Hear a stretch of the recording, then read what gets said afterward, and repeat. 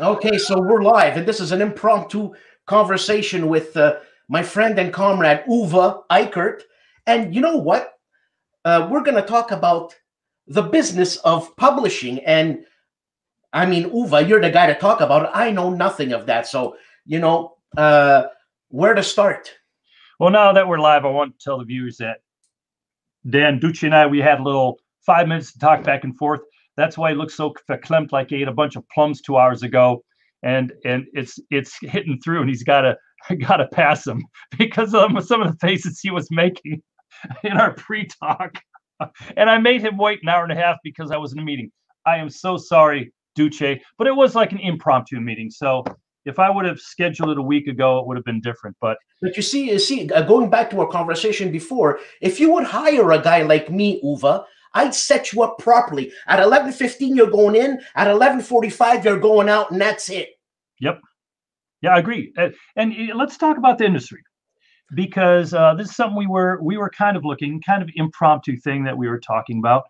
Um, and, and I've been talking about this for about a year, year and a half now.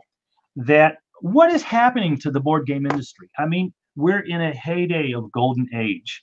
Um, uh, games are selling like crazy. I mean, the number of games being sold is phenomenal. And so many new publishers coming in, putting their games out on Kickstarter, have successful Kickstarters, uh, making good money on the Kickstarters, beautiful games with tons of miniatures. We're in the golden hey- heyday. Yeah, I, I mean, I can tell by the cars they drive. Right. So let's talk about this golden heyday. Go ahead, man. So what is really happening to the industry? And, and if we really look at it and what we've been seeing for about a year and a half, in which we're prepping ourselves for, and which we've prepped ourselves for the last year and a half, uh, because we have been talking about is, is that um, I think there's going to be a big, big consolidation in the industry. You're going to see tons of businesses go out of business, get bought out, or go out of business.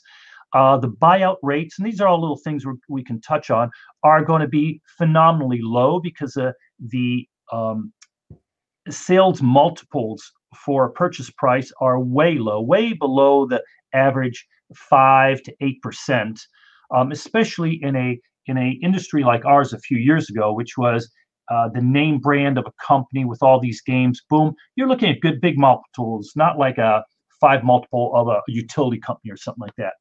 So um, it, will be something very interesting to talk about because there is such an inundation of games.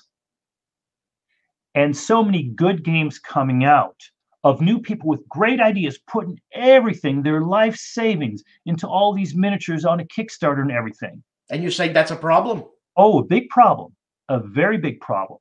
Because let's look at the little details it used to be, and this from my conversations with other publishers, with the um, distribution industry, with the reps, with um, the stores, et cetera, et cetera. On average, let's say, let's round numbers, make it easy, and say they're roughly around. Let's let's bring it half the time. Let's not say it's six thousand five hundred games. Let's let's take all the trash out and just make it three thousand six hundred and twenty so that we have, well, that's how many, well, no, wait a minute, 365, 3,650 games a year. Okay, that's 10 new games a day. And these are, we've already weeded out half of the crap. So 10 new games a day. Of these 10 new games, we are going to take, again, half of those out because they're good games all, but they're not great games. They're not exceptional games. So we're going to pretend the last five a day are exceptional games. So now we have seven times five, we have 35 exceptional games being released every week. And these, and I'm going to turn that around because I'm going to keep my original multiple. I'm going to I'm going to double my 3650 because it really is. We're between now getting close to over 7,000 games released. So I'm still going to stick with that there are roughly 30 to 35 exceptional games coming out, high caliber games. And if not high caliber, at least from designers and publishers that have a high good name recognition. Now, what about the different interests of those 35 different games? I might not be interested in uh, uh, a game by a certain company, this and this and that. So we're looking at the masses. We're looking now at the cream of the crop. We're looking at the top of the pile. The last, the 35 a week out of several hundred being published a week, or not several hundred, maybe 200 a week. So the problem is that if there are 35 new games coming out every week, every week, now you're a you're you're you're a gamer. Yeah. How many games are you going to buy a week? Uh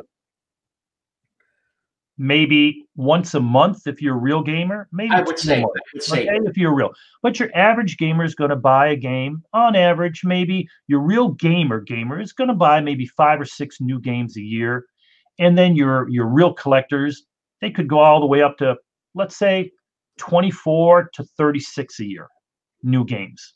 That that's quite a bit. That's quite a bit. But let's look at the market now. Now there are 30 to 35 new games. And this is what we've talked about with our reps and distributors. These 30 to 35 games a week are now hitting the stores in America. And your buyers for these distributors are only going to buy so many games because they can't buy all 200 or 300 games that come out every month. They have to take only the best of the best because they have to pay money and they have to inventory it. And the number one thing in business that you don't want is inventory. Well, Uwe, cycle your inventory quickly, and you want to keep your inventory to a minimum. Isn't the world going online and less uh, store? It's even worse. It makes it even worse because the big distributors, the online stores, how much inventory? How many games do you think they want to they want to keep stock of, and how many weeks of stock do they want to keep? Now, in the old days, a new game would come out, its lifespan would be probably nine to 12 months, where people, a new game came out, Puerto Rico, or a Caylus, or some great game. People were talking about it. It would hit the stores. The stores would put it on their shelves. People would see it on the shelves. They'd buy it. Oh, we're out of that game. Let's order more in because it went around. Now I've talked and our reps are talking to us, the dealers are talking to us, the wholesalers are talking to us. You sell the hottest new game. A store buys four to six of them, which is high. Usually it's a three pack with some freebies on th- top of it. But the really hot ones, let's say like Batman or the the Conan or whatever is coming out, they're going to order six of them. They get them in, and five of them sold out that first week. No, let's say all six. And then the next week, the buyer calls and says, Hey, check out these six new or these 36 new games that just came out this week. Man, this is hot. This is hot. This is hot. You got to get this, this, this. Well, we got you ready at $600 here. Uh, you want to buy the game you got last week?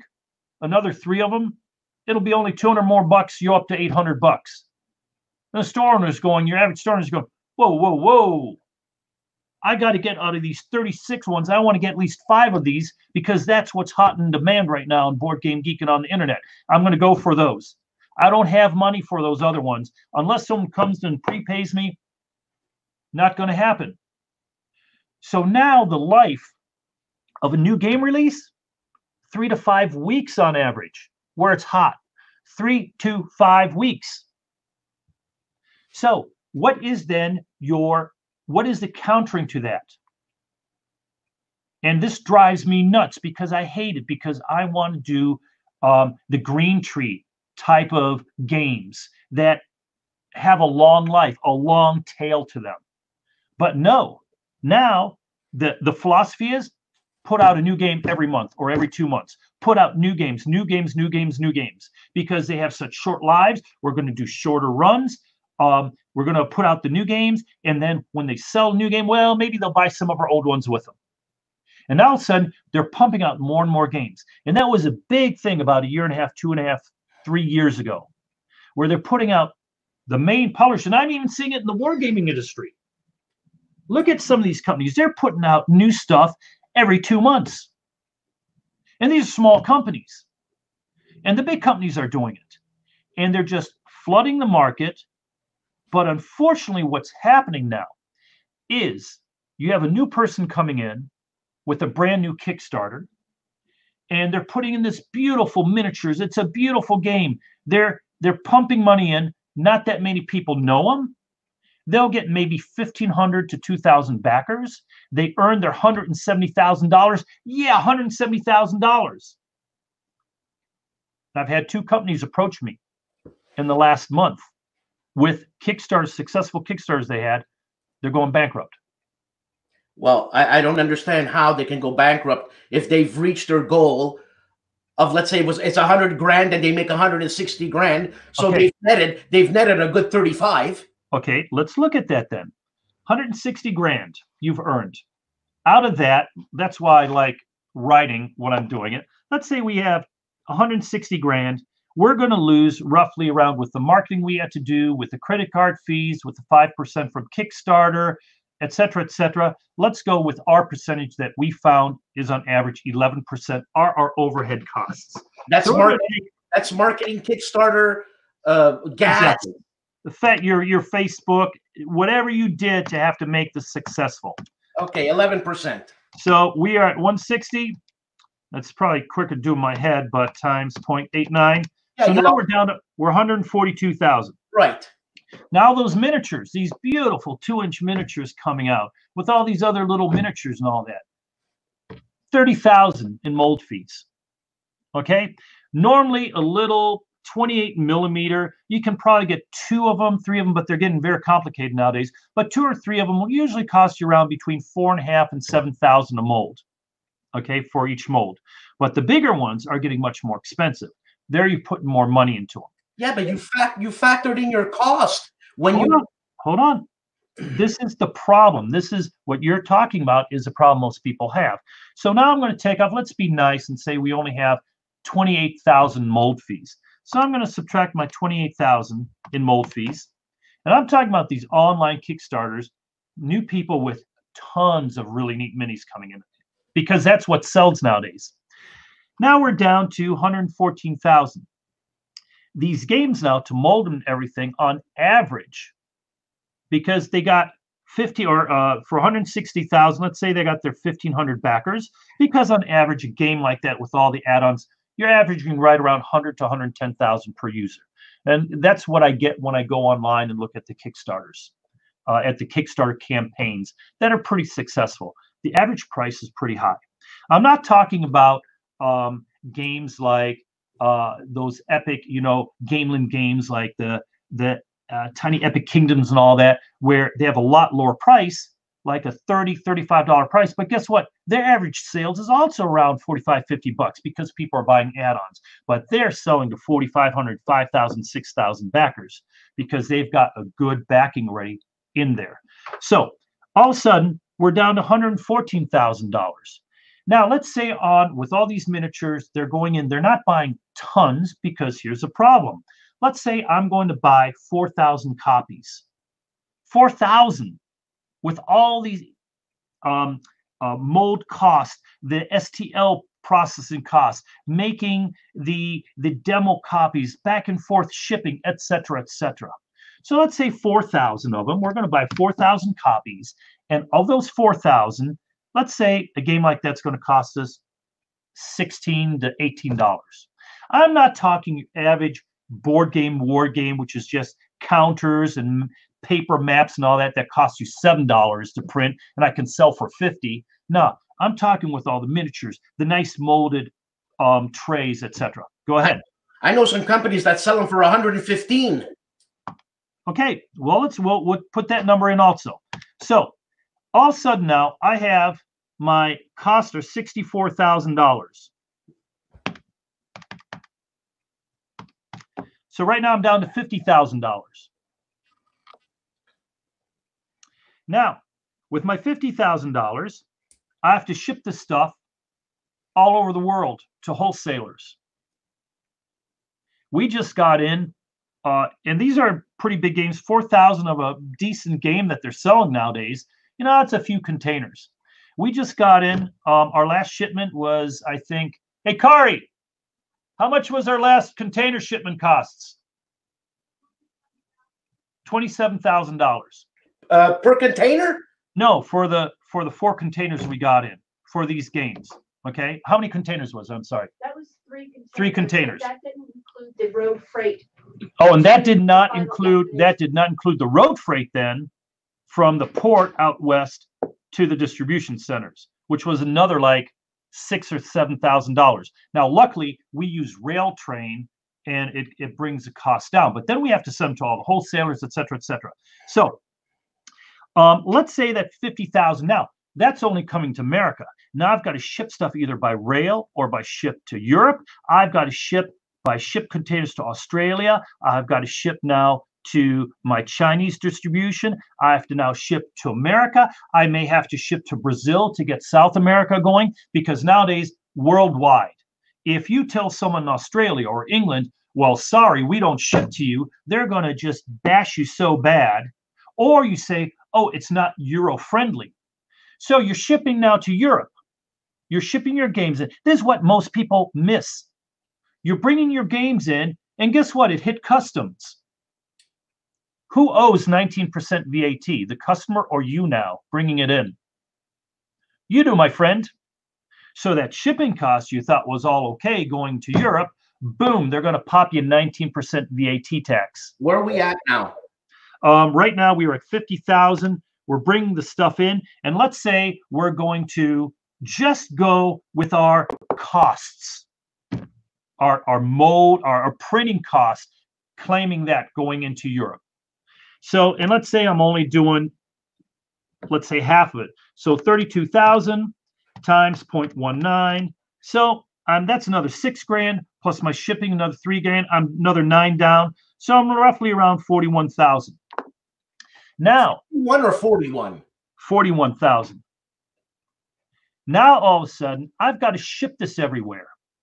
Now, let's say, like your average miniature nice game nowadays, packaged in a box, it's anywhere between eight pounds and let's say keep it low 10 pounds, eight to 10 pounds. So we're going to say somewhere around uh, four kilos, four to five kilos.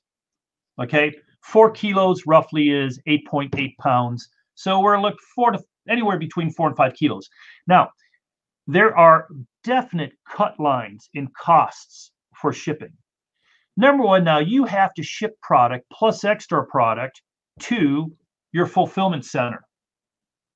So you got to go from the port, shipping it to your fulfillment center in Europe. The fulfillment center now is going to warehouse it, charge you a palletizing cost. They're going to ship it out.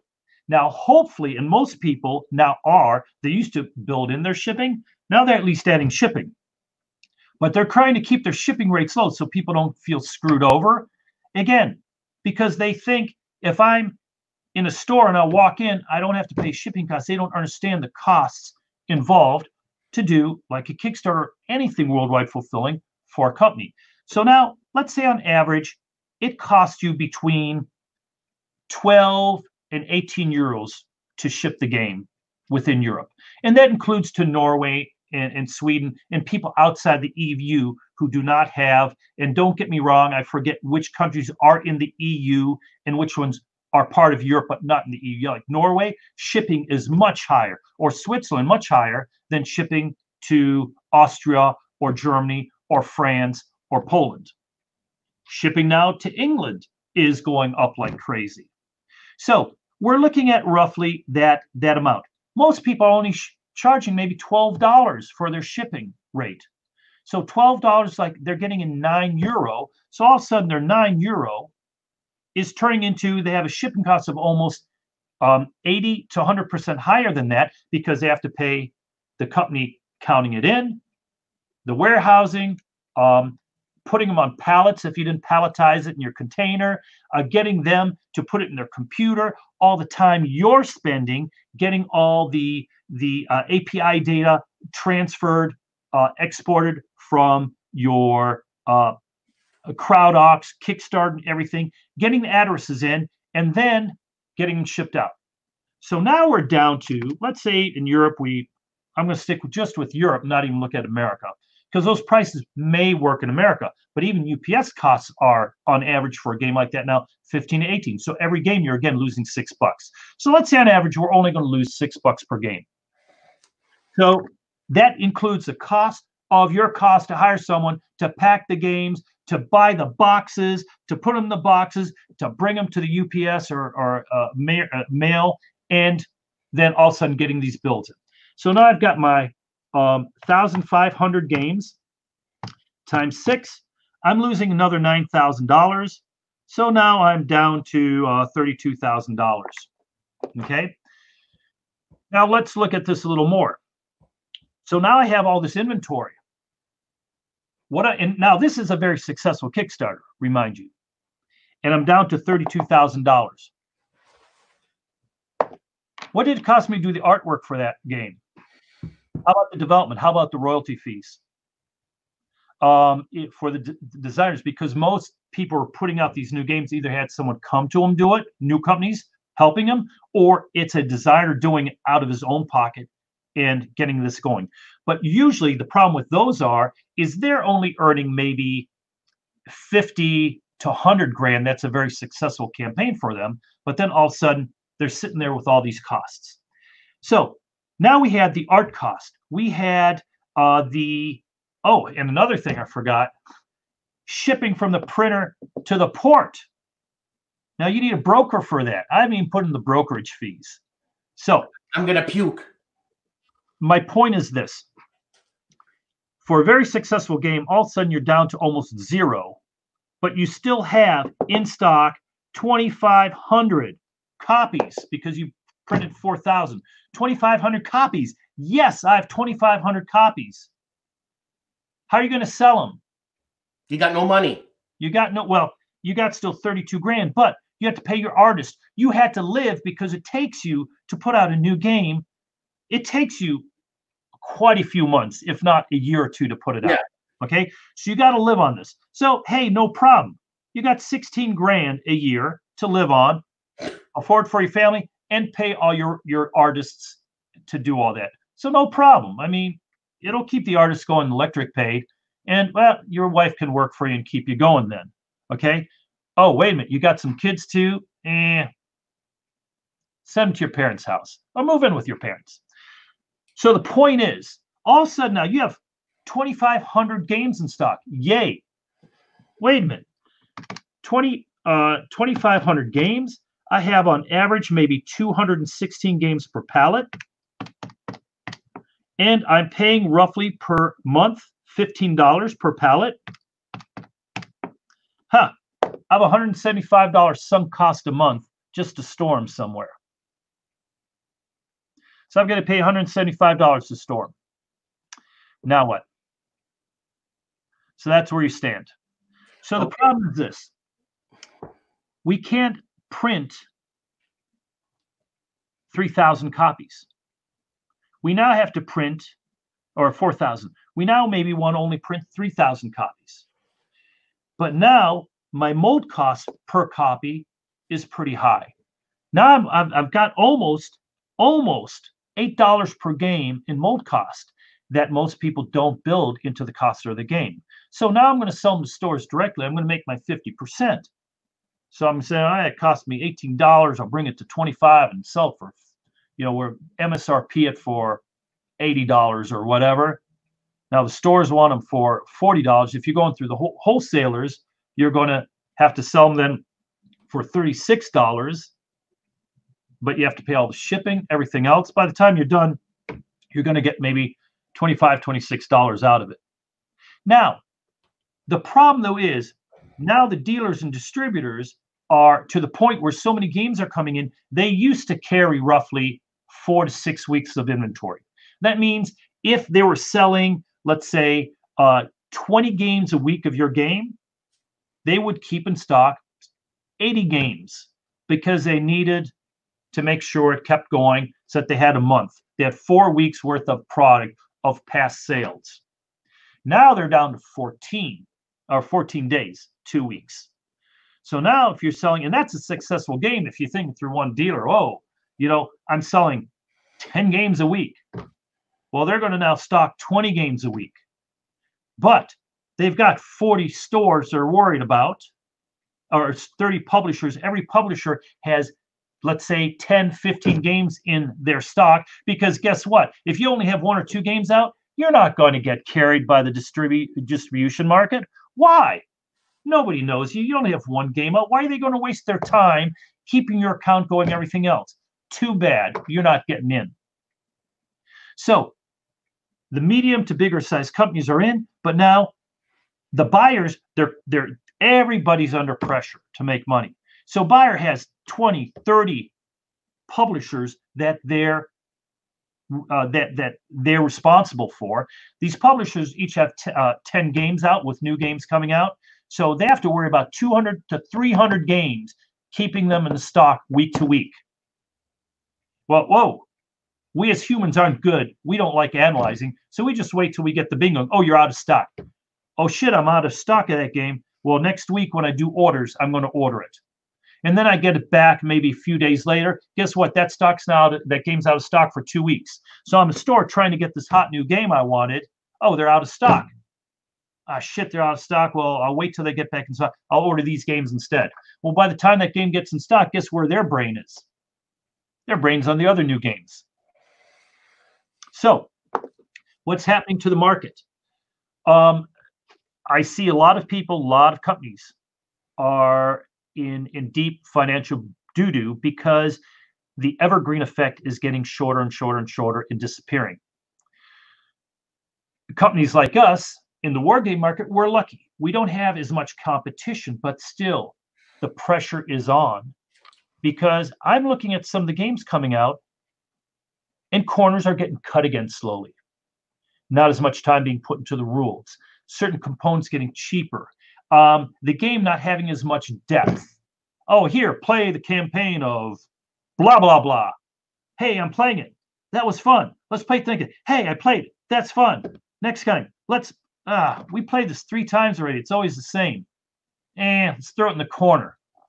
Oh, but they came out with a new game this month, which should have been the second scenario third scenario on that other game. But they're forced to because the way the market is now forcing us to come out with new games to be always on new radar for the buyers, for the stores, for the online sellers. Stores, at least, would keep a game that is popular and keep it on the shelf if the owners liked it. So they'll kind of weed through and get the best of the best and keep them a little longer. The online stores, do you think they give a flying hoot what your game is? Because guess what? They're the big store selling every game in the world. They got to buy them and keep them in inventory. So their money's hung up. What are they going to hang up their money on? The new games coming out that are hot. Are they going to do it on your game that's so hot in the war game industry or whatever? No. No. So in the war game industry now, we are, a lot of them are going direct, just direct to customers. Right. How many games do you have to, how many customers can you get? How, what does your P500, how long does it take to fill that up? How long in our war game market, when you're going direct, does it take to fill stuff like that? Forever. Now, if you're going through a good distribu- distribution market worldwide, you can expect coming out with a new game release, maybe for your average company, maybe 1500 to 2000 on your release. We're lucky. We, on our release, usually our Storm Steel sold out in two days and we had to reprint real quick. So our initial releases are anywhere maybe between six and 8,000 games. But still, that's nothing compared to the big sci fi games that have releases of, they're the big hot game. It's not that they're releasing 20, 30,000 copies anymore. They're lucky if they're selling eight to 15,000. Now, you have your breakouts, you have your terraforming Mars and stuff like that. Let's not look at those. But even with with big hits like that, a lot of companies are hurt. And how do I know this? How do I? And I've been saying this now a year and a half. Look at the market. Look who's being bought out. Look who's being sold. Look what's hitting right now on Reddit, big time. Fantasy Flight Games. Now, this is nothing official, nothing official. It's just from this conversation. Um, this is just what we're reading on Reddit. People mm. let go let the rest left and right. Um, the supposedly, and this is just what let go employees are saying, is that, for example, uh, Asmodee USA owns, you know, or Asmodee owns Fantasy Flight Games, that um, they've let go of their interactive people and most of, if not all of their RPG people, gone. What's going to happen with all those RPG games? How about all those interactive games, everything going on? Overall, 30 to 35% of the people were let go, including people in Asmodee USA. And uh, they're canceling canceling up upcoming projects. Because guess what? Even the big boys, the big boys that are controlling the market, that own Settlers of Catan, they own all these big branches, and they're great people. They are the sharpest people, literally the sharpest people I know on the market. They're phenomenal. I've talked with them. I work with them. They are sharp people. They know it, but no fault to their own. The industry is backlashing because of the numbers.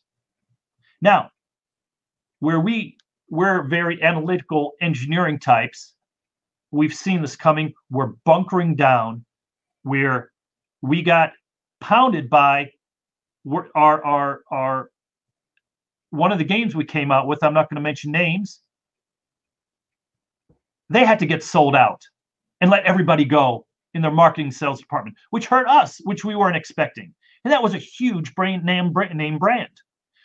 Um, luckily, we have lots of reserves that we weathered this 300,000 plus in inventory we brought in and sold worldwide because it was a big seller for us, even with Kickstarter and all. But still, and non-Kickstarter coming out, but even what we have going through the next few months. So the industry is very interesting right now.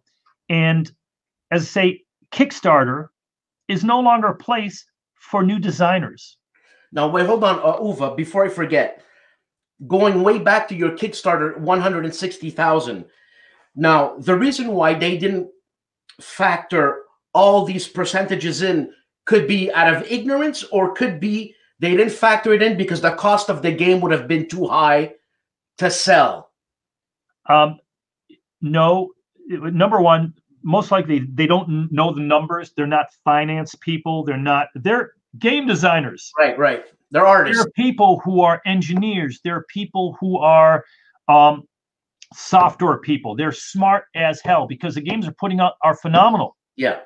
The art, the looks, incredible. Now, these are the cream of the crop. So you're saying these guys didn't do their due diligence?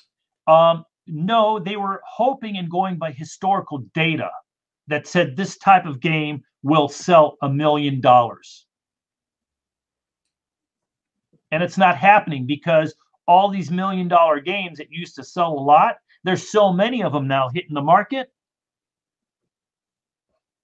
How many more games am I going to buy? And all these people have been buying all these games it's now getting to critical mass. So i'm seeing a critical mass. So now it the important thing is how do we as a publishing company concentrate on evergreen games concentrate on games that will have longer lives? And that's why we've for years been working on games like educational games like freedom 1775 and long series. So is that your strategy and I've said that for years. If you get series going, things like that, your your tail is three times longer.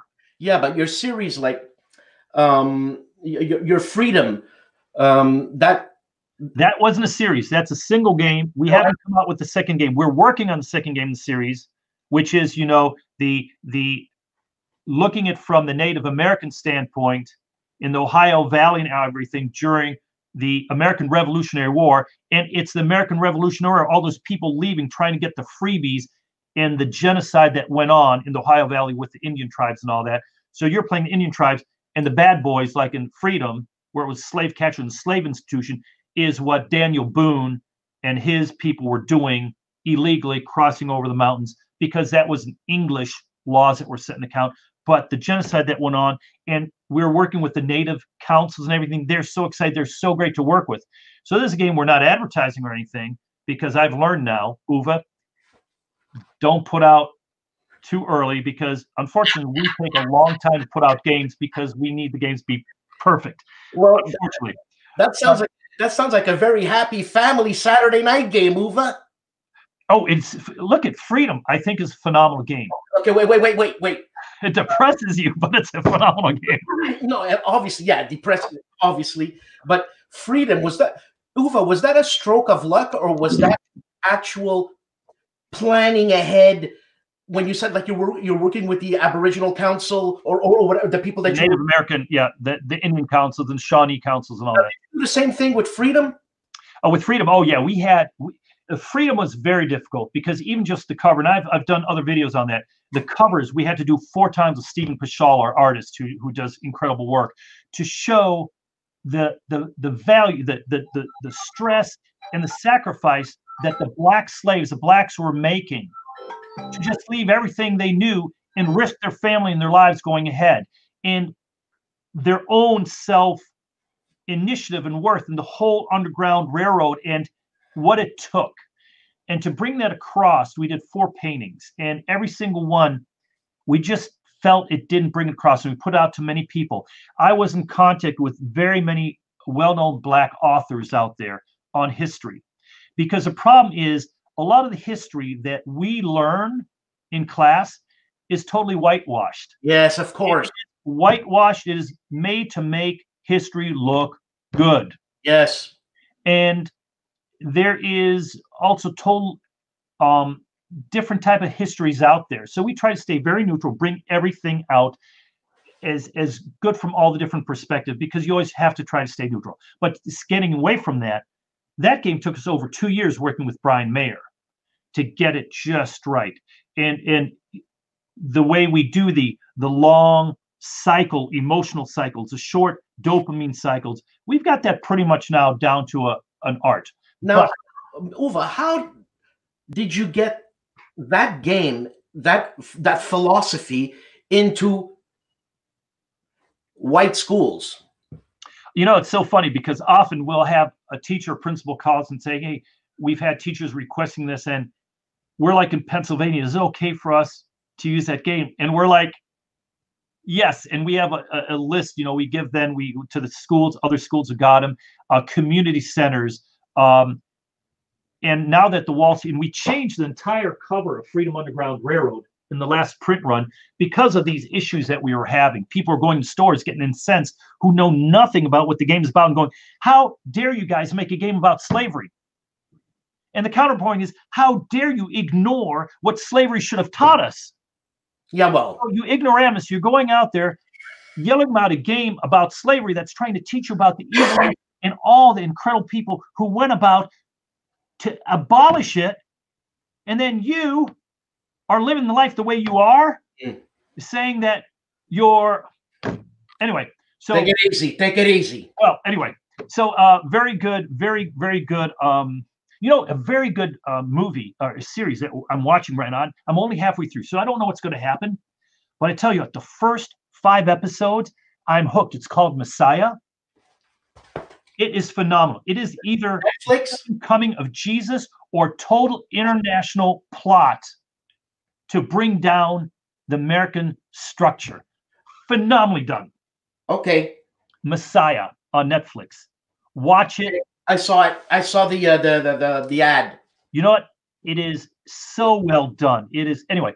But getting away from that all. Mm. So now look at the industry because I don't want to get off target. Right, right, Um. So the problem is, let me turn off my bone. I got these uh, beautiful, so I can hear better. Uh, bone conducting earphones. Love them. Um, but when you're running or working out or swimming, you can still hear everything, and Really? you hear everything because it goes through your bones, and you can still hear traffic and everything else going on. So Oh, um, okay. Great when I'm at shows, you know, can talk to people. You're not yelling loud, you know, when you have them in your ears. Okay. Anyway, so um, what we're seeing now is with the with the industry now because there's so such an inundation on it. Now the Kickstarters, which was meant for new people being able to come out with new game and and making something incredibly new, you're now required to have almost a finished game or have a finished game with all the artwork done to make it look good, a great video, miniatures, the STL files at least. And STL, for those that don't know, STL is a 3D image where you can turn it, see it from all angles, and that STL file is then made to, in China, usually they make a 3D um, print of it. And from that 3D print, they then make lost cast type of mold castings to make the miniatures, and then they make the molds. Mhm. Uh, but the uh, STL files now they cost a few hundred dollars each to make. After you artist, you pay them to make up the miniature. They then create it, have to make changes, blah blah blah. So new players coming Kickstarter, if it's not a beautiful video, you're lucky if you get twenty, thirty thousand dollars in funding. And how are you going to pay for all that inventory coming in? So now it's companies such as us, people going, oh, why do you need Kickstarter? You know, you're established, you don't need that. You're that's made for people coming out with you. No, because Kickstarter is the only way that you get a broad industry where people are still looking, where you're getting through a lot of the noise, where you can get people saying, hey, that looks like cool game. I'm going to support it. And you're not relying on the old classic, I'm going to put ads on BGG, Facebook, work on answering every blog in the world, be on Twitter, be on Reddit, be on BGG, ConsimWorld, Facebook, uh, messaging, messaging, emails, uh, Facebook, blogs. How the hell are we as a small company developing good games supposed to be a company when all we have to do, everybody's expecting us to answer every email within five minutes. And we have to be like me now, talking here, which is very dear to me and thank you for the time, but it's taking up time. No, I know, I know, Uwe. We need to get out games, and we're expected to have people on the phone, which we do, customer service, Kari spending all her time, working with the fulfillment people. Oh, we haven't even talked about all the people then who change and don't tell you the address change. You ship them the game, you're out your $18 or whatever in Europe. It comes back to you. They charge you $11 or $15 coming back to get your game back, which you should would have been better off throwing it in the trash. And then the guy calls bitching, oh, I didn't get my game. Well, you moved. Well, send me a new one. You sent to the wrong place. They shipped it back. You're not out any money. And then you have to ship a new game out. Guess what? You're a few thousand dollars more out. And your time, the salary you have to pay for the person to talk to this person, getting them off the wall, and then the people who constantly are back and forth. I've got uh, in uh, 1775 or in Vikings, uh, there should be, my friend had 42 Thane miniatures. Well, yes, sir, you're supposed to have to four, but we told the printer put in two extra in case they miscounted. So if they miscounted, usually they only miscount one or two. So you got your 40. Luckily, it was, you know, we told them always put two extra.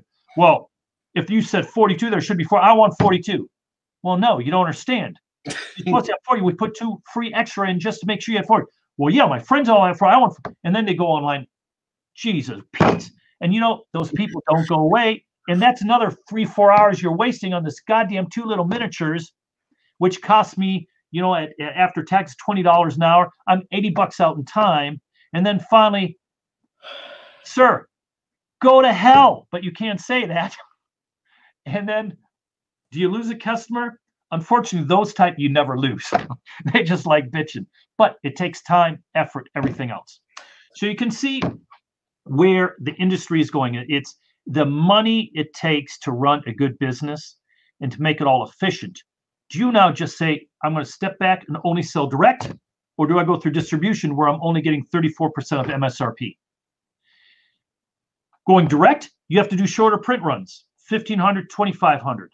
Going worldwide, like we do, you got to do print runs of at least, you know, six to 10,000 opening up and then keep it going. But the risk, what if a game doesn't sell? Then I'm stuck with all that inventory. What you do with it? Well, then you're going to dump it. But even dumping it doesn't help your company. So you go to conventions and all these free games people give away free. Mm. Wow, that company is so nice. Look, they're giving free games. You think they're giving you their best sellers? Sorry, I don't think so. A market analysis of where we are, and I think you're going to see a lot more in the coming year. You're going to see a lot of people go out of business. You're going to see a lot of conciliation, consolidation, because it's better for two companies to work together and only have one accounting system, etc. I'm working with companies now left and right where we're doing shipping together, we're doing show shipments together, we're beginning to um, help each other out different shows we go to. How many shows can I go to? You know, last year at Gen Con, we have a, a, um, a 20 by uh, 30 booth. So we had a six booth area in one spot, and then we had they gave us another 80 by 100 uh, foot area where we had 20, I think, two or 24 people, volunteers that were giving free games and stuff for, free tickets and all, running games just to get people playing the games, coming, buying the games, to be where we were years ago in sales. Because when you go to a show like that and you're paying six thousand dollars for your booth fees, for the support, so your name gets up there, so you get the placement that you want. Um, by the time you're done, you're great. You're happy. You're breaking even. Yeah. But you're not putting in the month and a half you had to plan it, getting all the volunteers, the talking, blah blah blah. Now, Uwe, um, you, you, Now today's a good day. I'm feeling good. That's why I'm all pumped up. yeah, you got me all stressed out. Anyways, Well, what no. I'm But you understand where the industry's coming from. Yeah, yeah, I'm, I'm gonna throw up. I, I, I- hold on, Uwe. I got a few questions here. Bloody hell. Um, so a company like yours, you have freedom, which is a staple. Yes, luckily we sell that after seven years. It is still selling every month. Okay. Is there any other games that are staples as much as freedom in your company? Uh, Freedom's our lowest staple game. Our Oh, 1775 game, our um, uh, Conflict of Heroes continues. We reprint Conflict of Heroes every year. Now, our older games, like our Awakening the Bear and all that, I only print like 3,000 a year now. But the damn game's already 11 years old. Okay. Really? Now, luckily, with the new reprint third edition, a lot of people are upgrading to third edition because it's a total new game. People go, why the hell you're screwing us over, changing the rules? That's why you're trying to make it. No, you don't have to buy third edition. We're giving you the free rules online. We're doing all this. Take a 10 cent or mark it up. Yeah. It's free if you want to do it that way, or you can just buy the dice when they're in stock. Mm. Um, but with that series, we haven't put that much out because we're we have so many games that it took us a long time to get where we're happy with. But now we have several new series that are going to we're going to be introducing, but it's always series. And now let's ta- talk the next thing. And I Wait, know we're talking a lot of talk. Okay. Hold, hold on. Um, so either you're you're you're lucky or you were smart in planning this. Um, Or business, it's my eighth business, so I, I'm lucky there. That I, I'm lucky that I understand business. right, right. Well, lucky. You're you're smart that you understand business. Whatever. A lot of it's luck. I tell you what, I made a lot of mistakes where I lost a lot of money.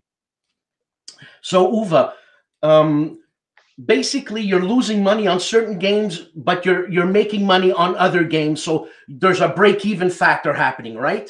I've only lost money on one game. So what are you bitching about? I'm not bitching. I'm giving a talk here of what's happening in the industry. Sorry, sorry. You want to talk about my company? That's No, a no, no, asset. Okay. no. I'm okay. Okay. that's- Listen, if I'm a guy who's going through the shitter like that, you think I'm the one who's supposed to be giving this talk? yeah, yeah, no, it's cool. Yeah, yeah. You know, you're I'm just telling, I'm just giving people how I see the industry going. I've said a year and a half ago now things are happening. Mia culpa. Mia culpa. I I I'm ADD, man. I, I I branch off. That's why I have to go work out every day. That's why, you know, I I try to stay my college weight because if I don't, you're going to go crazy. You're going to have a heart attack. You're going to do all kind of. People give me shit. Said, Gunta, why are you vegetarian now? I said, you know what? When I'm doing like 50 soccer games in a month and a half, you know, tournament, high school and college games, at my age, I'd be I'd be dying my my knees were hurting everything. So you got it. You got to just go through the pain and everything else. But it's uh you got to learn to go on a little sleep. That's for sure. I wake up so many mornings at three in the morning. I woke up this morning at three in the morning, couldn't sleep anymore, and on with the Chinese because we had 15 pallets get lost in Europe going to a fulfiller. Not the fulfiller's problem. It was just because of Christmas. It got where was it between Rotterdam and Germany? We were told it was delivered on the 19th. It wasn't. So I'm on there. At, luckily, with the Chinese, our American uh, um, uh, mid uh, Atlantic transit, uh, mid Atlantic transit. No, that's not for real, my friend. I'm going to tell you some stuff to eat and bring that blood pressure down. Um, hey, after we're after we're done, are you on your phone or are you on a on a camera? No, I'm on the computer. On the, uh, oh, you should. Let's next time we'll get you a little with the handy cam, and while we're doing these interviews, you're out there running. No. no. you need a dog. You have a dog? Yes. Yeah. I, I've heard this before. Please. Yeah. I tell you what, dogs. They're pure love. I know. I'm. I'm. Look, I'm out of shape. It's. It's not mushroom time. When it's mushroom time, I'm out in the forest and I'm doing this. But now it's winter here, man. It's. Uh, anyway. What kind of dog do you have? Do you have like a border collie that every two hours is nipping you, telling you Gracie outside? Gracie, come. Oh, what a cute dog. So anyway, let's go with now the last thing. Let's look at your designer. What's happening to designers now? Um, in the old days, the big names and all that, the designers, they had the market. They could put out a game with their name. I'm seeing it's not happening anymore. You know, you get the big name designers in average game, Euro game, stuff like that, because there's so much new crap coming in and it's all visual now. It's a Kickstarter with the 3D video imaging and all that. All of a sudden, you had a designer had some very good games. Yes, he will have a following. He will probably double your sales. But is it going to be like the old days where you're going to sell 40,000? No. How hell many games do you think sell 40,000 copies anymore a year? You're lucky if it's 20. You know, name me 20 games that were the runaway hits of last year. Easy to do. But after that, a very successful game sells 15 to 20,000 copies. Oh, he's turning off his volume. So, so now let's look at the last thing. And I know we're talking way too long. No, it's fine. It's fine. But yeah, you'll edit all out. But let's now oh, look at live. oh, okay. So now let's look at the um oh live. So we can't edit anything out. So I have to be very careful. Yes. I say here. Okay. Um oh, the only people I can make fun of is Germans. So you could alle Milofingen. Oh, anyway, um uh, I had to think of a word that was not uh, a curse word in Germany, and it it didn't come out very well because the only the only insults we have are just very nicely flamboyant, usually anything to do with feces and, and animal parts. Schweinhund. What's it? Yeah, Schweinehund. Yeah, genau. oh, or the Arschgeige or whatever, you know, you ass fiddle you. You know, you're talking out of your anyway. So um anyway, now let's look at the designers. Now I'm a company. In the old days, designers, um, a big standard was I'm going to give you the rights to my game for two years, and then I get the rights back. Okay. Or I'm going to give you the rights so long, and if the sales aren't any more that good, I'm going to get the rights back. And what's he going to do? Go shop somewhere else? Well, that's what happened in the past. And a lot of designers still think that that's the standard average. Not a must. That because why would I? And we're setting a lot of agreements and there's so many good games coming to us. Unfortunately, the good games you can't sell anymore. You can't publish anymore. You can only publish incredible games because good games don't sell anymore. Yeah, you'll sell 500,000, 1,500. It's not worth your time. You know how many games we've turned off where it was complete good game where we knew we'd sell 1,500 or 2,000 of them? Eh, because we have to put all the time and effort. If we don't control the entire rights to a game, why are we going to push all the marketing, all the effort that we're putting in to build up a brand name that then someone else can go, up, oh, your time's up. Now we're going to take this and all the brand you build up, we're going to take advantage of it and either do it directly or do it for, through someone else. Not going to happen. And I've seen a lot of companies hurt that way because now you're in trouble. You've been getting all these rights and all of a sudden you lost all the rights to your assets. What is your company worth? What is your company worth? A company is worth its net present value of the future sales of 10 years.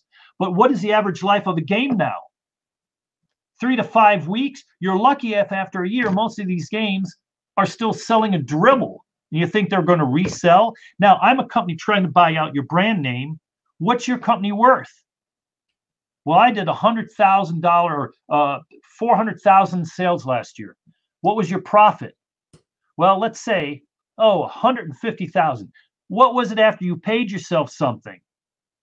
Well, 25,000. Okay, 25,000 profit. How much you want for the company? Well, I want twice my sales, $800,000. well, if they had new games coming out, like a software company where it's a new technology or something, maybe. But their games, if their life cycle of an average game now is getting shorter and shorter, and you're lucky if it has a life cycle over a year, how many games of a popular game or war game sell tons of games three years after it was published? Maybe one or two, if any. No. What happened to the net present value of 10 year valuations? It's gone. Now you got to look with your assets that I have, meaning your license, your what your values are, how much can I sell of that of what is there over the next three years if I'm lucky? I'm going to bring that net present value back of profit, and that's what I'm going to pay you. And what's that usually worth?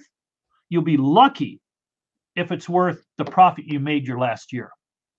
I'm not even going to back go back the last three years. You have to go back the last year. Oh, you made twenty five thousand last year. I'll give you twenty five thousand for everything you have. And guess what? Your inventory is worth zero to me because inventory is not brought into the valuation of a company because that's just shit sitting there. I'm buying your engine. I'm buying the engine that you own that'll get me more future money. So, Uwe, uh, inventory is not worth anything in any b- aspect of business. When you In any aspect- evaluation, when you do evaluation for a company, inventory does not come into the count for net present value. in any business. sales. You In any sales, business. any business. If your sales, if your sales this year, going forward 10 years, or let's say in the next three years, we're saying you made $25,000 this year, and you make, let's say where you're growing like crazy, you're going to make 50,000 next year and 100,000 the third year. Net present value to that is not going to be 100,000, 50,000, 25,000 because that $175,000 that I'm going to make in profit that you want in money that I'm going to pay you? No. I've got to take my money and make profit on my money. So to make $175,000, if I took my money and put it in the stock market or in a T-bill or you average 6% or whatever with a not big beta risk in there, I'm going to say, okay, I could take over the next three years, 130, $40,000, put it in a very safe money return, and I'm going to earn what your net present value is going to be. So let's say it's 150,000. I'm going to offer you $150,000. I'm offering you 150,000 for your future sales. What's your inventory worth to me? 150,000. What if you have 400,000 of inventory sitting in your inventory? What's your inventory and your licenses, your patents, everything worth to me? 150,000. It's the engine because that 150,000 takes into account buying new product, selling the product, the margins, everything else. That's what you're buying. That's what people get wrong. Inventory, you want to minimize your inventory. That's why a lot of people, when they do the sale, they do an, an asset sale also for the buildings and everything. But nowadays, companies, they're not buying your building. You bought a building. My company has this building. I don't give a shit about your building. I don't want your building. Keep paying your your your next 20 years that you have to pay because nobody's going to buy your damn building nowadays because it's a big warehouse building. They're dime a dozen nowadays. Who's going to buy it? It's worthless to me. So now, Uwe, Worthless, to me. I'm So- buying your net present value of future sales. so Uwe, um, obviously, at the beginning, uh, the, this this this conversation is about uh, uh, saturation of board games, oversaturation of Yes. board games. Now, what's I know you're saying a few companies are going to shut down or they're going to be bought out. Bought out is probably the best thing for them for them to keep their business, I guess. But they're going to lose employees. Um, Oh, you're going to fire all the employees. You don't need the employees. so how long how long is this going to be lasting? Uh, if you could think, if you had a crystal ball. Well, it, it's hard to tell because um, the board game industry is still in the growing phase. Um, you have all these super gamers that are slowly beginning to back off. They're selling their old games, buying new games, Yes. but the market is growing quickly. All these college kids are now playing more and more games. They're getting into games. The gaming market is still, in, I think, in its infancy blooming. Um, it is still at its bud. So there's still a lot of growth. You look at Hasbro, how it's growing. Um, the stock for Hasbro and and Mattel and stuff like that. I don't know Mattel, I haven't been following, but Hasbro's been doing very well with the stock market, their profits, everything. Yeah, but they own everything. Pardon me? They own everything. Well, all the cheap, the Ameritrash games, yeah. Um, but they have good margins, but they're being pushed down. You know, you look at a game now. I'm finding Monopoly for thirteen dollars. Yeah, I know, I know. You know, ten years ago they were nineteen dollars, and the dollar's devalued, and so the margins are getting very tight, um, and their ups and downs and everything. Right now, the economy is doing very well. Everybody has jobs. If the economy should take a turn, luckily the gaming industry is an industry where normally people will not buy a new car, they won't buy a new house, maybe they won't go on the flamboyant vacation, but guess what? They'll get their haircut and they're going to buy games still, not as many. So I think what's going to happen is you're going to see a winnowing out of a lot of companies that are not very efficient. You're going to take the big companies are going to cut off a lot of the crap and really concentrate on certain lines, on big margins. Uh, worldwide distribution has to get better. Certain companies are going to crop up that are going to become worldwide domination. Um, Amazon is going to start dictating more and more stuff. How can get you get your games in Amazon and then have the fakes not not get you out? Amazon just made a huge announcement. You know, they're going after the fake people. They're suing them, cutting off their accounts. Was in the news this week. Um, so, do you continue with distribution? Are you concentrating on Amazon, giving half your money away to Amazon, and they're cutting your costs or the game costs so that stores can't support you anymore? Or do you say, screw that, I'm going to ignore Amazon, or I go on myself, but then you're way below your game is on page five. Like I look for some of our games because we try to keep our prices high on Amazon and because we don't play Amazon's game and undercut and try to be the lowest price on the market. You put in like Freedom Underground Railroad, you don't find us. We're out of stock unless you go to page four and there you see all our Freedom Underground Railroad. What you'll find before Freedom Underground Railroad, you'll find the you'll put Freedom Underground Railroad board game and on page two and everything, you'll find helicopters, the freedom fighter helicopters, and everything else other than that, because those are playing by the games. So more and more companies are going to be forced to go into the Amazon route or with the big discounters or something is what's and that's a total different discussion what's going to happen to the brick and mortar stores we're doing everything we can to support brick and mortar stores but many companies aren't. What's going to happen if the pokemon and the the magic uh, magic the gathering which is their blood and staples if that should turn out? so what i talked about and where i'm giving the predictions you're going to see a lot more companies start going down the drain. You're going to see a lot of the everybody wants to be designer coming out. Those days of easy low barrier are getting lower and lower. You're not going to make the fortunes it's going to hard, be hard to establish yourself in a set company like we luckily did 11 years ago because we were at the infancy and we were lucky. We weren't in this overabundance yet. Um, you're going to see designers not be able to retain the rights to their games. Because the company has because we can't we cannot take on the risk. Yeah i understand. You have a great game. You came up with a great game i want to retain all rights. Or i came up with Gary game i'm, I'm selling to you. I want to retain all rights. You know if you don't do so many sales i get back and i'll go to your competitor. Well what the hell do you have the incentive to go through all the risk of the molding? No i understand. I understand. Doing the marketing worldwide. Right now, we have through Alliance, we um, on Meeple magazine, we were, um, I don't know what we had. We had in November or October, no November, we were on the front cover. You figure, you know, if we're on the front cover of the national magazines, we would, uh, I'd keep them. And those are the ones I'm not interested in, of course. um, I cannot believe that I don't have any. They sent me a bunch of magazines. Ah, unbelievable. I've Storms of Steel on the front of every Meeple magazine nationwide. Unbelievable. Of course, you know, but you know, to put we were on the front cover of Meeple magazine in November. We were on the back cover um, of the magazine with Agents of Mayhem in in, Feb- in December. We're in going for the brick and mortar stores. We're in the five 350 biggest brick and mortar stores with the light panel advertisements uh, going in to get people interested. Sending out, we didn't go through those costs. Shipping out free copies to all the the sellers, to the major uh, ali- uh, um, distributors. Sending out free copies worldwide to reviewers.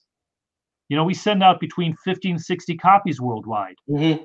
plus shipping costs. Mm-hmm. Shipping from America to Europe cost me, or to England cost me $70. You know, so um, we're going to, it's going to get tighter. Brick and mortars, don't know what's going to happen. I think the good ones are going to flourish. Uh, the cafes, the way that that trend is going, they're not going to go away. But the little guys in those grungy little stores that specialize in certain games, gone. Um, gaming is going to keep on flourishing. Designers going to get tighter. Uh, Kickstarter is not going to be as profitable as it was in the past.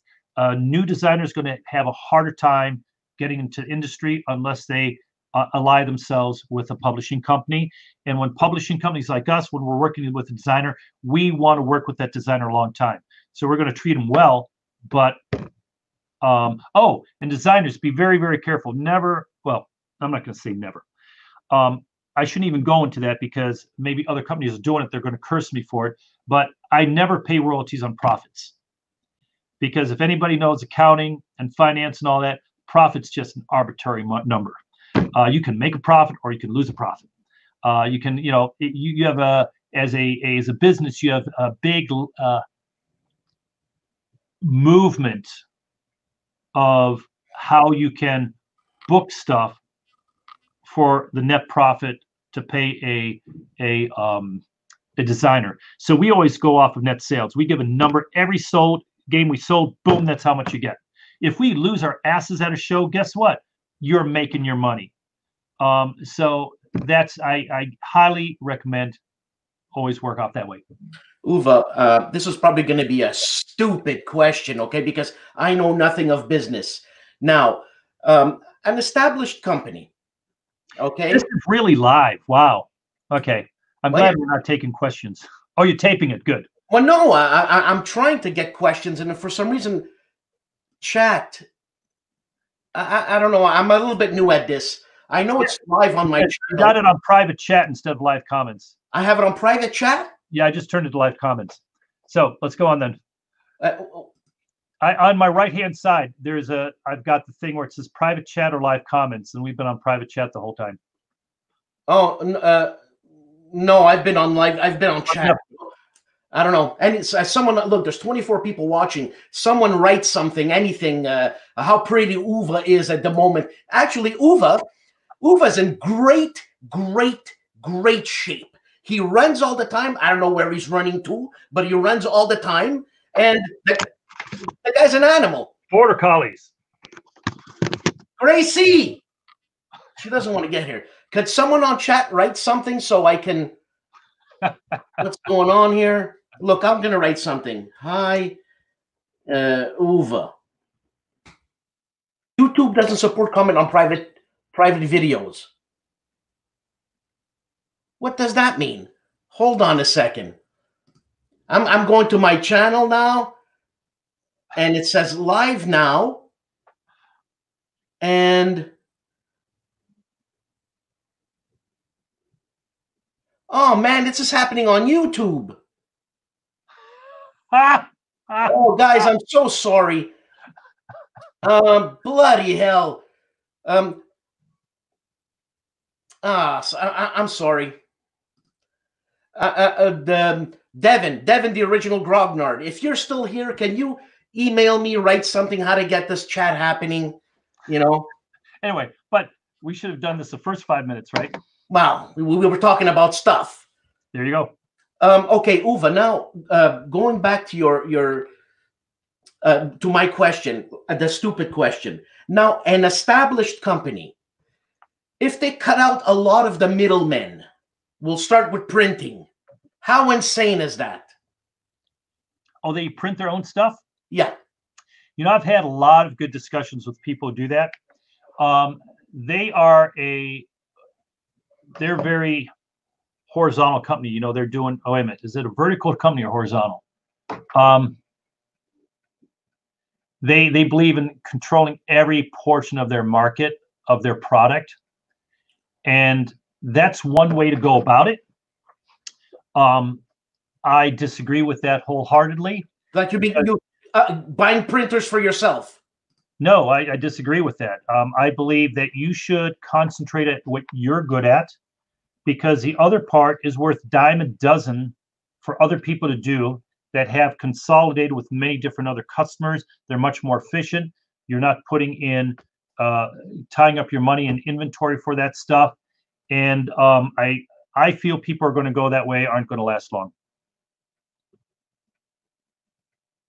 So, if, if I had a lot of cash, And I'm not talking about any company in general. That's just in general my philosophy is I never believe in when I had my steel companies. I didn't have my own forging presses. I used Schilling Forge, who had hundreds of customers, and I got my forging. I specialized in what we were good at. We developed new steels. We developed new meta steels. What we did with the hardening, with laser hardening and all that was cutting edge. That's what we were good at, and that's why we dominated the market in that industry. Um, so in this industry, what are we good at? We're good at uh, creating new AI systems. What Gunta's doing. Um, we're we're we have a knack for putting out games, and we have also a knack with with being on good terms with most people in the distribution industry. Well, I should say almost everybody. We we really don't have we have pretty good uh, um, interfacing with people. So from that standpoint, um, we contrary what we're in I don't even want to run my own warehouses, even though you know we've got a 22,000 square foot building here, and we've got full of pallets. We had people coming through the other day, going, "Jesus Christ, you guys have a lot of stuff here." And um, I didn't say that. Sorry about that. Didn't mean to offend anybody. Um, but uh, uh, Heilige Scheiße, Batman. Um, uh, but we don't we don't try to ship anything through here. We just keep enough in case there's emergent things, things we have to get out. But I don't want to have warehouse people. I don't want to that's what people are there for with fulfillment houses. They specialize in that. Um, and they've taken like we're working now with r&r uh, games who have gotten distribution in in um, fort wayne going. And they've got a beautiful setup very sophisticated very automated. And um, we're now moving stuff over there because why should i hire someone? They hire someone when they have someone that can do all of our products together. So why should I print? Why do I want to be a printer? I can get stuff printed so cheap. Why why have to train people, have million dollars of printing operations here, blah, blah, blah. I mean, we have shrink wrap machines, we have laser cutters here, but that's for development. So um, I believe in Hey Kari. We don't have many people here, Abba. Um, what is it when you control all aspects of a business? Is that horizontal or vertical? I'm sorry? When you're vertical, you oh yeah, when you're vertical, you control all aspects of your product development. Horizontal, you just do one little aspect on it and relying on other people. So I think we're more horizontal. We just do the board gaming. We let other people do the shipping. Other people do the printing. Yes. Right? Okay. Yes, Yes. you say so. Well, that doesn't help. so Dan, yeah. you're still trying to figure out how to get this thing going. right? I, I want I want to apologize to the people. I got 24 people probably asking a lot of good questions, and uh, I'm here asking stupid questions like, "Why don't you buy printers?" Um, give me a second, just one second here. Devin is working with me. He's asking me why. Why is the worst question to ask someone? Why? Because um, I go, Devin. I go on. It says public. Now I want to save the changes, and it says an error occurred on YouTube. This is usually temporary. Wait a moment, then try again. I've been trying all this time. Anyways, so Uwe, you there? Yes. Um, you, you, it's not very hopeful what you said there in an hour and 14 minutes. Oh no, it's very hopeful. Uh, It's the companies are doing it right. The companies are doing it right. We're planning. They're going to become more and more powerful and um, more and more ingrained. They're gonna they're going to survive this this influx. Um, how long do you think this is going to be? Uh, I don't know. I mean, we've let uh, people go. We're not hiring certain people. We decided not to go heavy the marketing route. We are going 100% production development.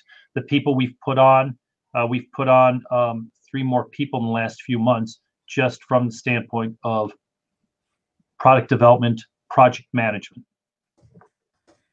We're working a lot more with uh, with the printers now. The printers are seeing it's getting harder for them I think the Chinese government has um, built a lot of factories for a lot of these printers outside of the belts of Shanghai. Um, we were working with one printer, they were between the first and second belt in Shanghai, and I guess it was made illegal to be a printer in this segment of Shanghai.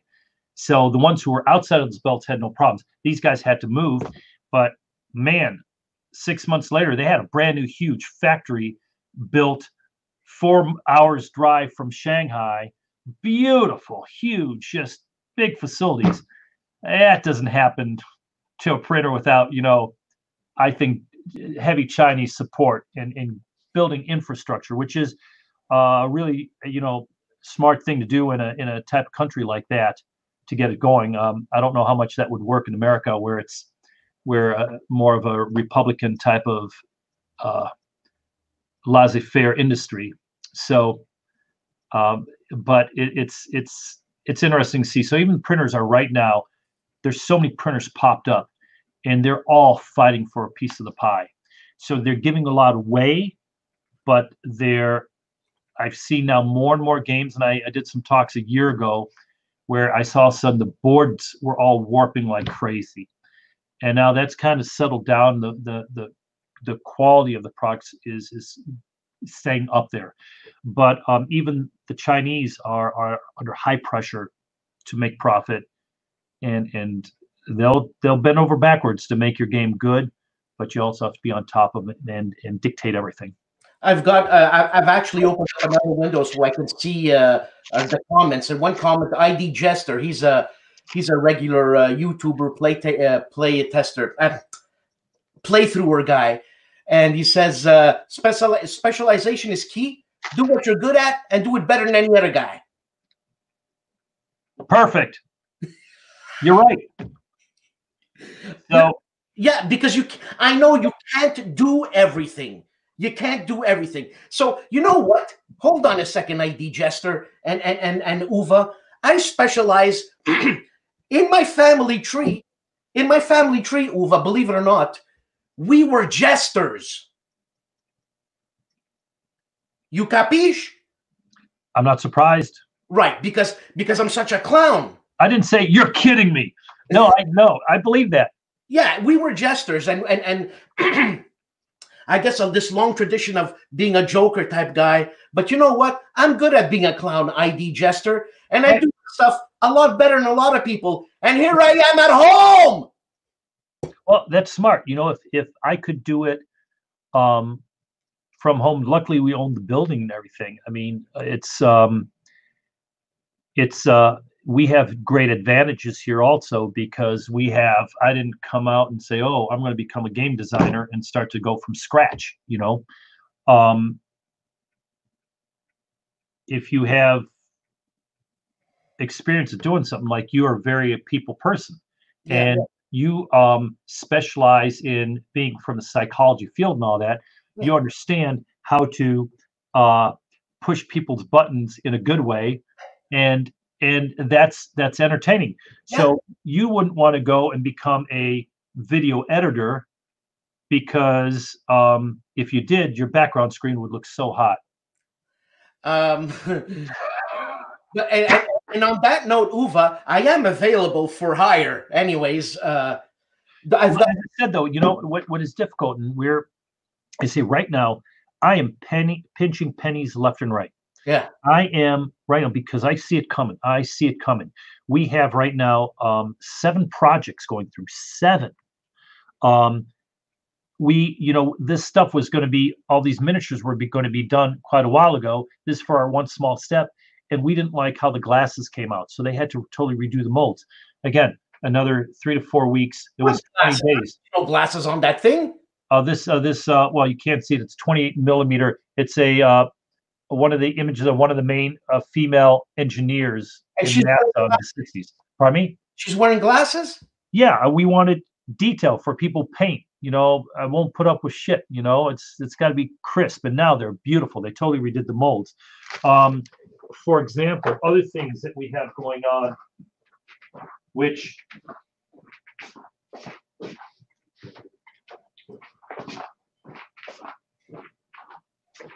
if I bring up an image, you can see it on the screen on my screen. Can I share screen or not? Uh, I, oh, yeah, share screen. I think I. Can, I don't know. You could try it. What are we? What are we? Uh, what are we working on here? What what, what program are you on? This is called uh, Streamyard. Oh, Streamyard. Okay. Yeah. Never and heard of it. here, Mister Never Before uh, in Europe has a question. Yes. Okay, what can the consumer do to maintain quality products that are niche war games? Are there corporations going to buy everything up and then tell us what we want to buy? Now he said the what can the consumer do? Yeah, to maintain quality. Well, yeah, what can the consumer do to maintain quality products that are niche? Uh, Consumer can do crap. that's right, nothing. I mean, literally. I mean, you know, I am I am so mad with the crap put out in in the the not recycling and all that. I go out of my way to recycle everything. We just are re putting in all uh, LED lights throughout the whole factory here, through our whole building. And the loads where I buy them from, they're selling LED um, fluorescent light bulbs, six or four footers, but they won't take them back to recycle. Now, see, we have nowhere to recycle all this mercury laden crap. Now, you're selling me this shit, take it back. And I created a fuss. I mean, they wouldn't take it back. And then I finally talked with the with the um, local Lowe's manager, nicest guy in the world. Says, you know what? You're right. Bring him in. We'll put him with our recycling stuff, and they're recycling from out. That's what he said. I hope he's doing it. I hope it's not just going dumpster. But what can we do? Oh, we just don't buy the crap from that person.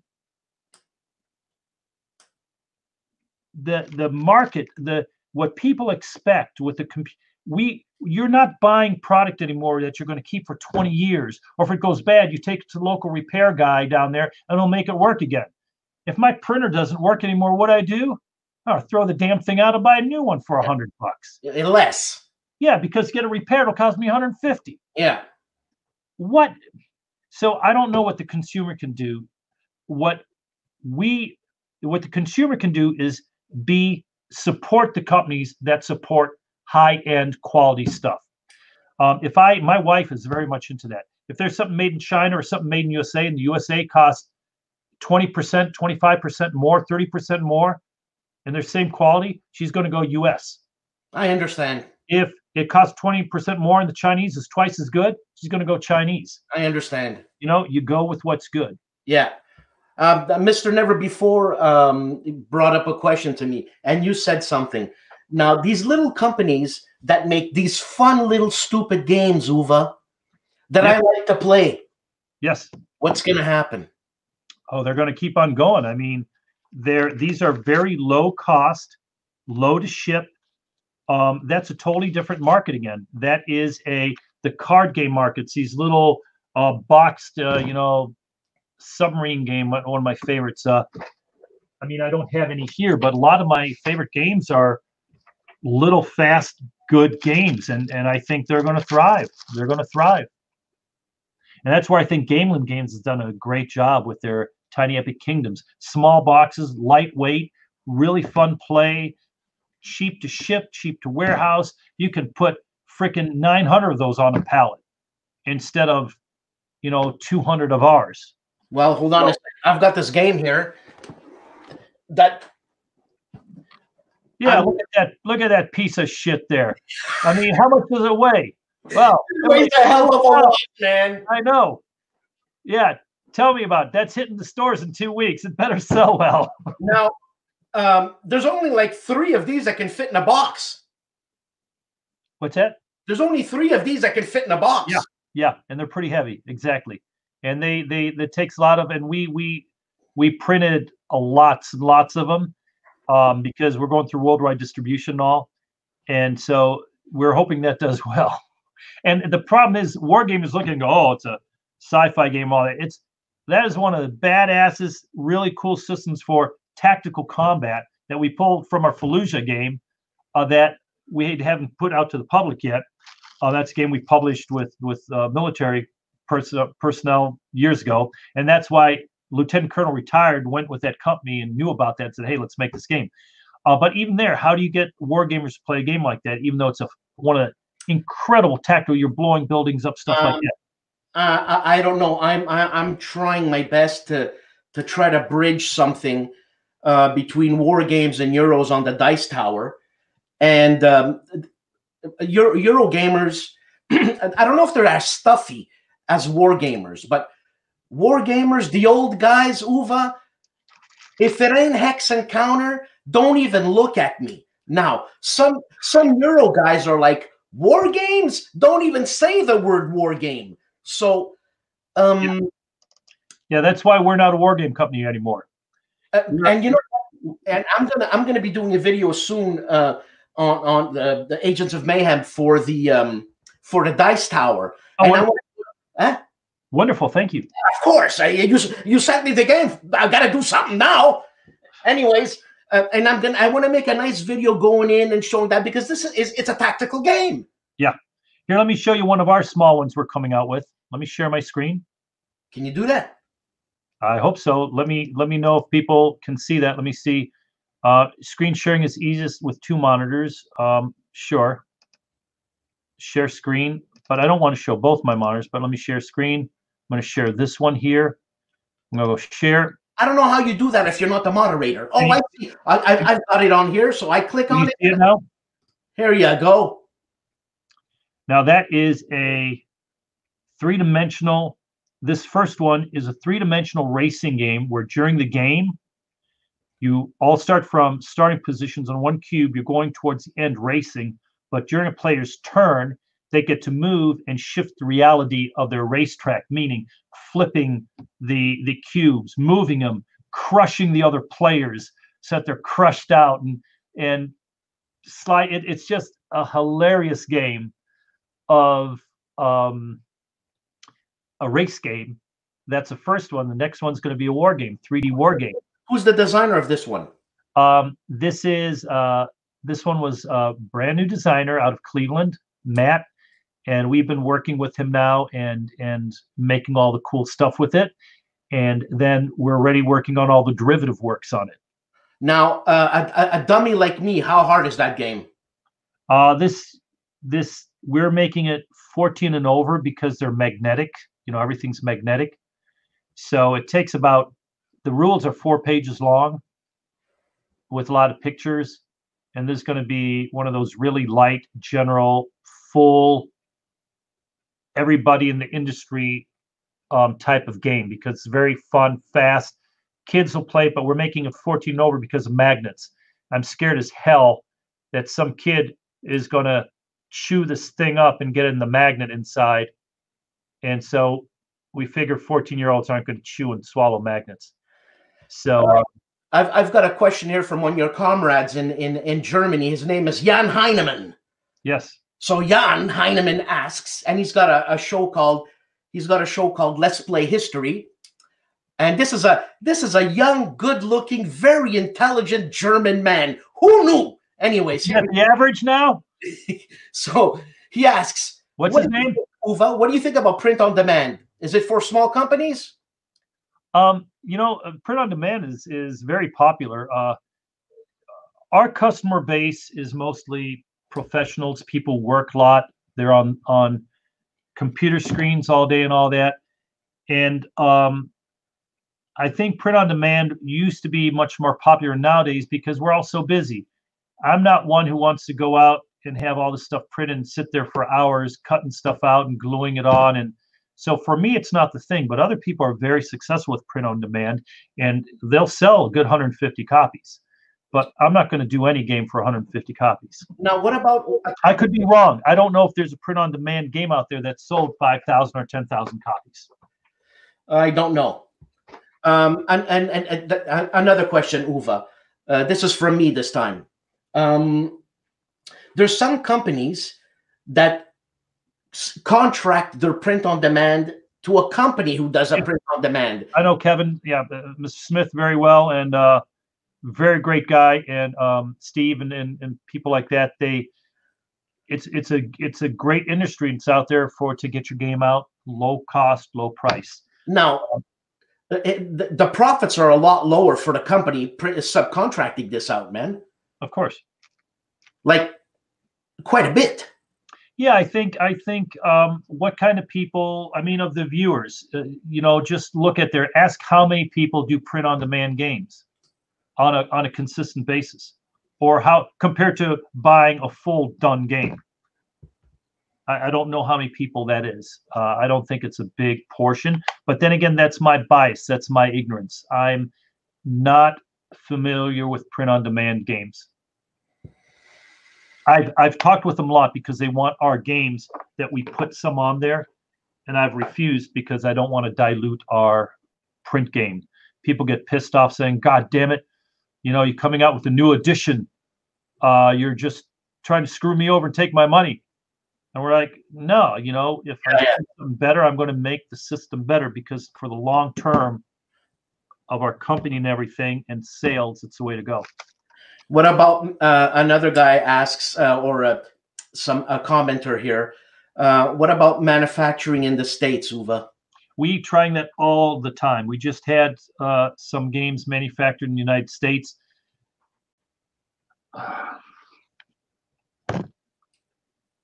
The problem with the printing industry in general in the United States, meaning from the paper manufacturing to the core board manufacturing and everything else, is that you're getting such a, um, a demand. Now I'm this is my personal rhetoric. I'm my diatribe um, from the businesses I've had, and, and my issue with corporate America right now is that they're getting a bunch of young morons in who are told that Six Sigma means saving five cents on making a product. They don't understand that Six Sigma and all these uh, Japanese type of, of enhancement programs are to make continuous product better and that that is that you you can predict what the outcome is going to be. So you don't have scrap you don't have to redo stuff and that's how you save money. We started only printing in america. The quality was crap. Then we went to germany. The quality was great but now the chinese make the best. Our upcoming games here we've uh, our latest game samples i got in that we're working on the new system. I've told some people online with our um, with our new AI system, our new uh, campaign system, and everything is going to be where you're doing your prep orders. And these boards now, oh here, for example, here I'm I'm doing my prep orders. I'm doing like a commander in prep orders, doing his designing what they're planning on doing on the board. You're doing it on the board. And this now is going to influence how the AI and everything's reacting. So when you're getting your orders, you're looking at the battlefield, you're doing your plans, you're giving your sub commanders their orders. You're not going to be changing that mid battle and be successful with it. And that's going to be influenced. This I put in probably a month ago, this marking with a marker, and it's doesn't wipe. But if I take a tissue and some water here, and I go over it, and I wasn't planning. I just happened to see that. I totally forgot I'd done this. Look, it comes 100% off. And it took us a while to get the correct coating on this. So our new boards come out. This is the first time anybody's seen this, by the way. Um, I've got to wait and make sure we don't screen. But look, it's all coming off. Boom. They're like new. And ladies and gentlemen, you saw no enemies here first. Yes, and we're doing some really cool stuff. Our solo system that Gunter and I are working on now is we're turning upside down again. It is incredible. Not only are we doing behavioral type of where on stress that during the battle as a certain sigma type of a reaction that a commander is doing under stress, it starts spreading out and they start doing these aberrant um, two sigma type of decisions where you're going, what the hell is he thinking? Well, under stress, your brain starts doing some stupid stuff. How do you do that in the game and bring that in? So No. we're doing some really cool stuff now. Now, a personal question: If you didn't have such a smart, good-looking son, you think you would have went to second, third edition? Um, oh yeah, because I'm the one always pushing for it. Uh, but Gunter is without Gunter, it wouldn't be as successful as, it is. The AI that Gunter developed and what we're working on together is phenomenal.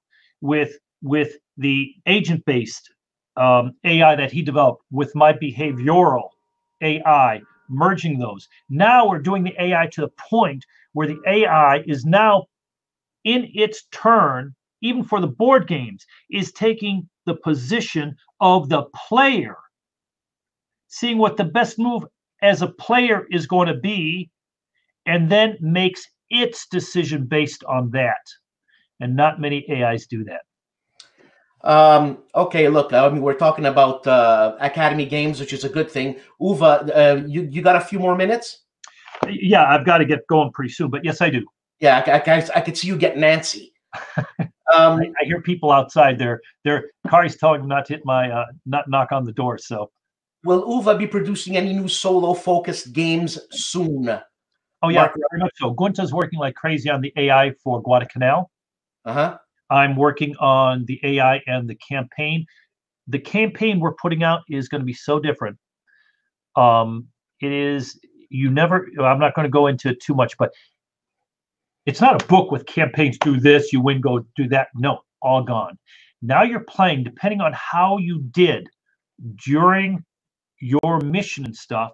There's a 300 card deck coming along that what happened historically with the battle around you at Kursk and everything will influence what your decisions were or the outcome of your decisions what the enemy's doing. So if you take this hill or this city on day one, it takes you to a total different radiant storyline going forward than if you take it on day three. Because historically, if the battle had happened, because no matter what you as a commander of your company or your battalion, how good you are, the general battle of the core of going around you is really going to influence no matter what you do, it's going to influence the outcome of your successes or failures. So, no matter how good you're doing, it'll be influenced from the outside. No matter how bad you're doing, it'll be influenced from the outside. And you never know how you're doing. You're just playing this game, going on through it, deciding that we're bringing much more storyline with your people and everything. And then all of a sudden, you do something. Oh, you took this objective or something, you pull the card, and boom, you lost. Here's what happened. Boom, boom, boom, boom. But during the game, you're getting the command um, orders coming in. You're getting the newscasting. You're you're hearing what's going on in the battle. It's all what happened historically, and it's affecting your game. So I think what we're going with solo is, and we're trying to keep it as simple as possible. It's going to be very. It's going to be just a conflict of heroes. But solo, you don't have to learn complicated things. We're building it into storyline, and I really love, love, love, and I've said that many times, what Time Stories does, that series. What I don't like is that they just make you go down one little maze. There's only one way to win it. Ours are just like in Conflict of Heroes, or I'm sorry, um, Agents of Mayhem, the game you have there. That is that has what we're doing with this solo now. Um, and most people they look at that game, oh, going, oh wow, it's just a, a combat, urban combat type of tactical game. But the Radiant campaign that comes with that game is just mind boggling. It is just so market breaking of what it does. And unfortunately, though, most people aren't going to explore all the intricacies of that. So we're taking this in our war games, bringing it down to that battle, and you're playing this, and you're going to be playing anywhere between eight and 12 engagements, totally into it, hoping seeing your men die, the people you're getting used to, your sub commanders dying around you. You're losing your capabilities, your Panzer or your Stugs or your, your T-34s and your frustration and what you're going to do. Do I pull back? And it's not mission to mission. It's just this whole thing flowing. And all of a sudden, damn it, I took this hill. God damn it, what? I lost? Campaign's over because of this? and I missed these objectives two days ago, which happened. I didn't see that coming, like a real commander. So it sounds like a real-time strategy computer game, man. Exactly, but for a board game. All right. So uh, anyway, uh, uh, Jan Heineman says, "Can he have can he have that for Napoleonics?" Oh, by the way, we're working with Graham Tate right now. We have an incredible Napoleonics game coming out. Um, it's going to be two player game at first, two to four player. Um, it looks a lot like the old Napoleon's Triumph type of because I love that game, but we just the rule system we've developed with Graham. Graham Tate is uh, in the uh, British Air Force, one of the top training commanders for critical crews, crews that are in charge of heads of states and all that. And he's a guy training these people. Super sharp guy. I mean, sharp. And um, he's, I think he's Scottish. I go, and I saw him in uniform. It says Patty on it for his name. No, no, he's Irish. White, uh, Irish. He's Irish. I go, I go, Graham, what's this Patty? Is that like your designation? He goes, nah, all us Irish. We're always called Patty Tate, Yeah. Patty whatever. I'm like, really? Here you be sued for being, you know, racial or something. He goes, eh, you know, I'm proud of it. So um, he's uh, we're developing very cool with Napoleonics, and that's going to be again a series of things. Um, the first game is going to be two to four player, but it is set. It is perfect for implementing the uh, solo AIs, the Athena AI that we've developed. Uwe, I'm gonna let you go there. I really appreciate your kindness, your time, especially. I know you're gonna you're gonna bill me for your time, and uh, Oh, you so good care of us here. I, I really I really appreciate. I hope we can do it again, Uwe, on another subject. Look, um, we've had a lot of interest here on on um, what The YouTube, whatever channel this is. on people that wanted to know stuff about Academy Games. So Oh. if you got something new, we can go on half an hour live. Have I'll I'll, try to figure what I did this wrong, and you know, uh, it's good for you. It's good for me, man. Now, let me ask you this: Does this then um, save it and is available to watch later on? Yeah. Because you know the whole thing of this was where the market's going, what what's Yeah. happening in the stores and all that. And It's saved. It's on my channel. super, I mean, I can send you a link of it, and you could put it somewhere Good. else. I'll do that. I'll do that. Thank you very much. Danke schön. I appreciate it. And uh, thanks, people. Sorry for the uh, for the screw up, man. I'll, I'll... thanks for viewing, guys. And now I've got to go uh, get my run in and um, get some. You got me all pumped up now. Doce.